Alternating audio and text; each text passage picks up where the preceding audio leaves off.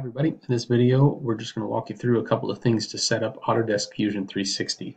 This video is made for my students at my particular high school, so your teacher may have a different method. If you're watching this video, just be careful about that and make sure that you understand um, you know, some of the basics that I'm going to walk you through, but then know that, you know, obviously some of the settings are going to be different.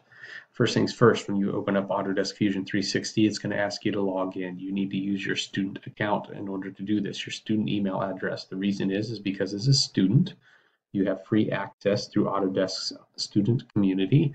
You can download software on any computer.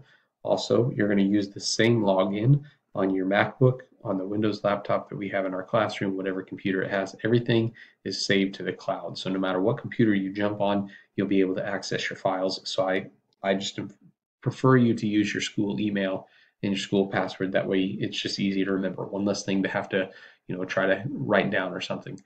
Um, it, it'll say at the top when you're logged in, if you set up a profile, which you should do first, it'll say your name here, and you'll notice that it has all sorts of things, some preferences and some stuff like that.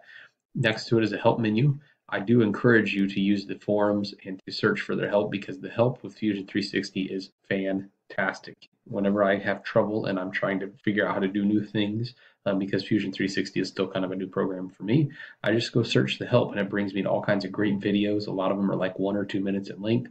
Um, you can submit ideas if you think there's something you need to see to make things better. Um, I've gotten some ideas that have been, you know, liked and things like that, which are interesting um, to see and some other ideas that you have here. It'll also show you job status up in the top right corner. Um, the job status, if I click on that, it says I'm working online, and that's what it should say most of the time. Okay. Um, what I want to show you first, though, has to do with project folders and it has to do with sharing. First thing you're going to do for me, if you're in my class, is we're going to come over here and show the data panel. And it's going to pull up a list of all the different folders that you have uh, to work with. And so right now, I'm probably just going to say my first um, project if you've never done one before. So um, you're not going to have that many here. You're going to start off by clicking New Project, and you're going to name it last name, comma, first name, LNHS. So it's going to look something like this. Okay, you're going to hit Enter. It's going to create a project folder for you and everything that we do for this class. Now, if you do something on your own for fun, you don't have to use this folder. In fact, I don't want you to. I want you to use this folder only for class projects because then when we get inside, by double clicking on it. You're going to go up here to people and you're going to add my name, brett.kisker at lps53.org. You're going to add me and send me an invite, and that way I have access to this entire folder. Now, once you have that in place, you can come back to data and you can create a new folder.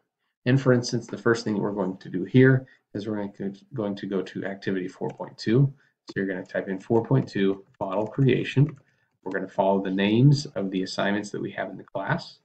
And the parts that you create for 4.2 model creation are going to be inside of this folder. So I'll double click to get inside of it.